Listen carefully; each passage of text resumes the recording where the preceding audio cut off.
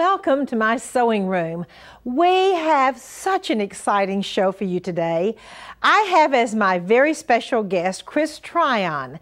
Chris is Director of Education for ELNA USA, and she has brought some fabulous things to share with you. Look at this magnificent doll, dressed in the most glorious doll christening dress I think I've ever seen. Beautiful machine embroidery, and it's, it has the godets and a beautiful slip and a bonnet. All of the embellishment done by machine. Now I'm going to move this beautiful baby right over there and show you a real christening dress also with all of the embroidery done by machine. This is also a godet, a curved godet christening dress. Beautiful netting on the collar, wonderful ecru laces, and the embroidery is all done by machine. And for those of us that love hand and machine embroidery, isn't it nice to know that we can get the look of hand with the sewing machine? I especially love this white on white machine embroidery. Now, look at this wonderful table linen. Isn't this fabulous? Done with the several different shades of antique uh, lace. And then this beautiful, beautiful white on white embroidery. And by the way, this is made out of a linen, which I think is pretty. And I also like the use of two different colors of lace. You know this is the lingerie series. So here we have a beautiful camisole, one of our patterns for the series, with some tucks around the top and the bottom, and a beautiful, beautiful white on white machine embroidery. We have another and very unusual version of the camisole. This one has netting over the top of our camisole for the series with some machine embroidered flowers and ecru and some pretty, very fancy rayon lace on the bottom. What an exciting idea with the netting over the camisole. Here is another fabulous camisole with, it's, it's really pajamas, camisole with very long tap pants. This has the double needle pin tucks down the front with a real interesting machine embroidery stitch right on top of the double needle pin tucks.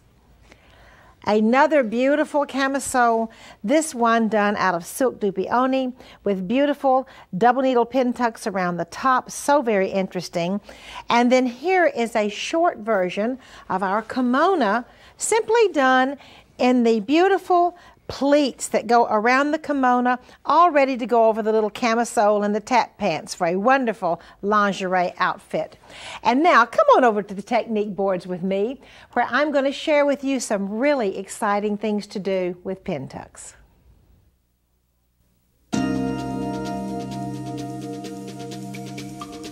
We have some really new ideas for pin tucks, tucks, and double needle pin tucks. First, this is a release tuck, and this is a folded tuck, oh, about uh, a little bit over a quarter of an inch wide. And you see, when I say release tuck, the tuck only goes so far down. Here is a set of double needle pin tucks. So pretty and always used or nearly always used on my vintage clothing. This is a wonderful way to get a raised look on a pin tuck. You simply cord it. Now, this is interesting. These are stitches you can use to go on those folded tucks. This stitch may be a little bit too stitchy. This one may be a little bit too wide, but these three probably are just exactly right for this really new technique I'm going to share with you. Now, if you want to do the, the stitches on top of the folded tucks, first draw your lines, however part you want them, and then do your decorative stitching. Now, here comes the magic. Do a fold on the right-hand side of the stitch. Just simply press it and fold it and then pull it in the width you want and stitch in your tuck. Do you see how wonderful that is to have the decorative stitches on the folded tucks? Now here's another little new technique which I'm so excited about. Go ahead, draw the lines, run your decorative stitch on the lines, and then, and this is so exciting, take your double needle and do your double needle pin tuck right on top of the decorative stitching you've just done. The first one here is a corded double needle pin tuck, and the next two are just simply double needle pin tucks on top of your decorative stitching. Now, the lady that invented these two techniques is my guest today, Chris Tryon. Chris is Director of Education of ELNA USA. Chris, welcome to the show. Thank you, Martha. It's a pleasure to be here. I brought an exciting technique.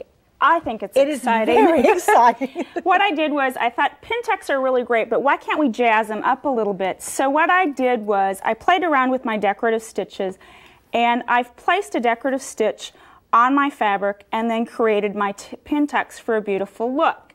First thing that I did was I marked my fabric for my placement of my pin tucks.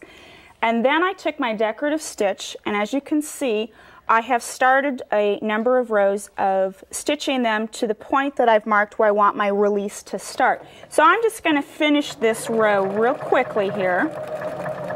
Such and on my stitch. yeah, exactly. On my foot, I have a small triangle, and what I'm doing is lining up the triangle on my foot with the line on my fabric, which gives me perfect alignment every time. No crooked pin tucks. You know, I love the the fact that you can use a lot of different types of stitches. And this exactly. is just built-in machine stitches. Exactly. This is not anything think, out of the embroidery. And I think people tend to forget of what they have available to them on their That's machine right. alone and the creativity right. that they can come up with. Right. Okay, so here are my rows of my decorative pin tucks. I've got them all marked. My next step that I did was I simply took the edge of the pin tuck and folded it. Uh-huh. Okay, so now I have my first fold.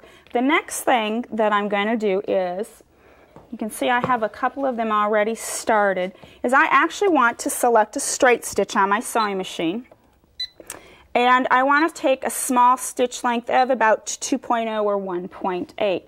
I'm going to take my folded pin tuck like this and I am going to simply align the edge of my foot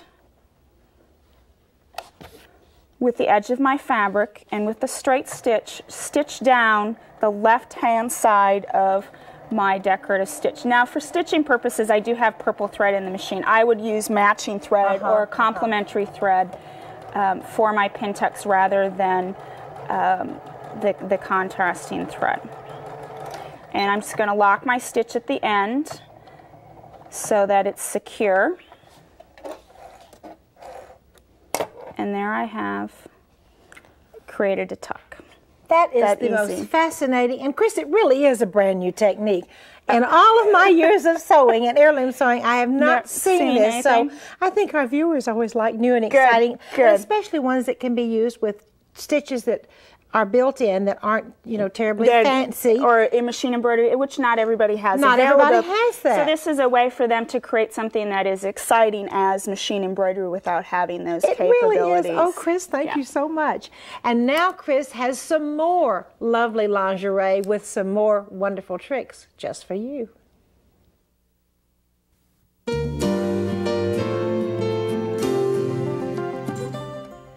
Chris, I just love the camisole you've done. Tell us all about oh, your fancy pin tucks. be my pleasure. Um, in the earlier segment, I talked about creating decorative pin tucks, and I've done the same thing here. But what I did differently was I created a corded pin tuck rather than the release pin tuck. So if you don't like release pin tucks, you would rather have a regular pin tuck or what people are used to seeing, this is a real easy way to create that type of pin tuck. And I'll show you how easy it is. The first thing that I did was I marked my fabric again, um, all my position points of where I wanted my tucks to be. I made sure to mark my center point. Uh, that will come in handy at the end and we'll see why later. So what I'm ready to do now is I'm ready to actually do my cording and I've got a few pin tucks already started. So we'll just do one last corded pin tuck. What size double needle are you using? Um, I actually chose to use a 2.0 or 2.5 and the reason that I did that was because I have a wide decorative stitch. I normally like to use a 1.6 because I like a smaller pin tuck but I have to make sure that my pin tuck accommodates the width of my stitch. Okay, so I've got my pin tuck foot on and my 2.0 needle in the machine. And what I'm going to simply do is guide uh, the needles on either side of my center stitch on this decorative stitch. That's why I chose this decorative stitch because okay. that is okay. a perfect center point for me to guide uh, the center of my stitch. Uh, 2.0. I chose 2. a tiny, stitch tiny okay. stitch length, okay. tiny stitch length for security because I do have um, cording in there. And if you notice, I'm not guiding my cording. And I'll show you in just a minute my little magic. Okay. Okay. And again, I'm going to lock this at the end to make sure that that is secure. And this is my little magic. I have a plate that fits over my bobbin cover with a cord guide and my oh. cording simply fits right in there and it sits on my lap and I don't wonderful. have to worry about moving it back That's and forth. E-A-S-Y. You got it, yes. That's our favorite word, yes. isn't it, Chris? Yes. Fascinating, all right. So my last step that I need to do is if you look at my piece, I didn't cut out my pattern piece. I basically traced around it. This is my center point. What I'm going to do is line the center point of my pattern up with my center marking and I'm going to go ahead and again trace the outer parameters of my pattern piece. I probably won't notice it on top but if I trace my side points I probably will have lost a couple of inches. And you can see there's a slight variation. Well, it just it, it pulls it, pull, it, it exactly. Sure the so pin tuck is going to take in fabric and pull that in. So that's why it's wisest not to cut your pattern piece out until after you've done all of your pin tucks. And that's how easy it is. I mean, I made this camisole probably in three hours. Oh, I like that. You, I like that. I don't know oh, one. I don't know one person that has too much time. I, do you? I, I don't. I certainly don't have any time for. This for is sewing. so fascinating. I'd like to look at now. Then tell us about the little ribbon you put down the oh, middle. Oh well, what I did was because I had created this center point, it left a big hole, and I thought, well, maybe I'll just do some pin tucks down the center. I tried that and I didn't like them, so I actually did have to rip something out. So I went to the fabric store and found a decorative ribbon and just placed that down the center and I thought that that kind of pulled everything together a little bit. It really, really is. And I, I just think it's so creative. Now tell us how you finish the edges. Um, I well, I cheated. I bought. I love cheating. Go ahead and tell us. I bought double fold um, mini bias, and I stitched really? it on by hand. Pretty. I didn't use the machine. I did stitch it on by hand, and the reason that I did that was because the curves are so tight. Mm -hmm. I felt on the on the um, the top of the camisole, I had a little bit more control with my hand stitching, making sure that I got around those curves. Okay, and that's fascinating. And, and the and are, straps are just simple, ribbons. double satin ribbon, double-sided oh, satin ribbon, yeah. Pretty and easy exactly. are two very important things. And, and inexpensive, too. hey, we yeah, like that, too. exactly. And now then, I have a segment for you on the business of sewing.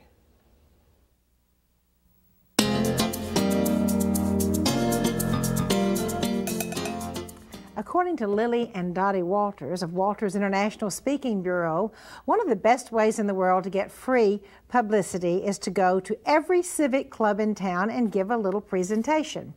First of all, where do you find the names and addresses of the people with every civic club in town? Your chambers of commerce will usually have that information, and if you will tell them why you would like to have the names and addresses of the program chairman, they will usually give it to you. Plan two 10 minute programs. Now, not programs like, oh my, here I am, I want to sell you some of the beautiful dresses I've made, but rather programs possibly about the history of sewing, the history of children's costume, or, or sewing through the generations, or how it has changed, or whatever you would like to, but something related to your sewing business. Now then, you've realized that a civic club has to have either 12 or 52 programs a year. So they're usually really looking for someone who can give a nice program. I would suggest taking my business cards. So at the end of the time, you can certainly hand out business cards and be available to talk if anyone would like to talk about sewing or has any questions about sewing. You have to remember that with Civic Club people, you really do have qualified buyers. So first of all, you're going to probably have people that will be interested in talking a little bit further about what it is that you're selling, especially if you've had some beautiful things to show them, worked very tastefully into your informational and educational program. Be sure you're available after your program for questions and just available, maybe have your pretty clothes hanging up so people can come by and say hello. And always hand anyone who's interested a business card. And next, I have a silk ribbon stitch for you.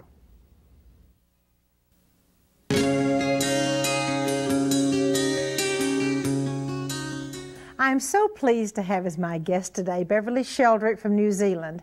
Beverly has been with us on the show for several years now, and she certainly has done some beautiful designing for Sew Beautiful magazine. Beverly, thank you for coming back to be on the show. Oh, Martha, it's always a pleasure to be here with you. And today, um, I would like to show your viewers the second of the chrysanthemums that is on this robe that we have done here. Now, this one is really not, there's nothing difficult about it. It was just a matter of working a, a large flower to, in keeping with this Japanese, uh, sorry, Chinese um, style that we have. And of course, there's the one, as you can see, the one that is there that you're pointing. And then I have another one, a smaller one that I've done here, just so that the viewers can have a closer look. You'll also see, viewers, that when I have done the sample one and the one that I'm going to do for you here, that I have made the colours a little more extreme than I have on the robe. Uh, you will see that I have uh, the darker edge around here. I have used a, a, beautiful variegated ribbon, and of course, viewers, it is a 7 millimetre ribbon that I'm using. Um, on, the, the, on the robe, I used a, a, lavender variegation. In this one, I've used an orange variegation just to make it easier for you to see the difference and the different levels. Now, you will see here that I have started, I've got three circles drawn here, and again, just as we did in the other one, we have a, a slightly lopsided oval. So we have the outside one, second one, and then this is the center. Now you'll see on this one that I have half completed here that I have taken the outside colour, carefully taken the stitches around, just fanning them just a little so that they just spread out like that and move the way round. The next one, the stitches you will see they actually go in between. You do not pierce this, these first lot of ribbon stitches that you have here. They've just gone in there like that. And then again, I've used these loose French knots for the center. The buds are simply a French knot there and then a stitch either side. So I'll just go over this for you. Um, what I do want you to be aware of when you're doing these stitches is they do need to be flat. You don't want any twists in them, so just guide it through with your thumb like that. And here's another one coming up. You can see that the stitches are approximately an eighth of an inch apart and then the, by the time they're fanned they're getting closer to a quarter of an inch. But there they are, just sitting there. They're not tight on the ground, but they again, they just got a, a little bit of bounce. Now we're going to take our second colour. That's this one, the variegated one that I've used. And with these lovely variegated threads that we can get now, we can add texture to our flowers in a way that we couldn't before. And I just think we can just achieve such beautiful results. Now this one, again, it's the same principle, that straight stitch and a little more bounce because now we're wanting to put height into it. And we'll go back and we'll do another one of these like this. Do remember when you're using 7 millimeter ribbon, don't try to haul the ribbon through the silk or whatever fabric you're using. Uh, just pull it through slowly. The flowers, because they're big, they grow quickly, so you don't have to hurry with them. And then we'll just put that one there, like that. And we'll take our third colour, and again, it's that loose French knot like that, just pulling it so that it's just sitting there. I like to stop halfway with the needle. I find in that way I can then adjust just how tight I get these um, or how loose I get these French knots and it just gives you this lovely big centre like that. You can see just how high up off the ground that one is sitting. Now we'll just move round here and we'll put one of these, these um, little buds that we have on the side. Again, French knot. That will not only give you that lovely centre, but also it does when I come to put these stitches that go over it, you will see that they are, it tends, helps to hold it up and really makes that central section just peep out between because you can see these side stitches are really quite high and there they are and then I would just put a straight stitch back to wherever I wanted to put the stalk. I don't normally put any leaves on it. Very simple but oh, effective. Beverly, this is just so beautiful. Thank you so very much for being here. and pleasure. now I'd like to invite you to join me in my attic.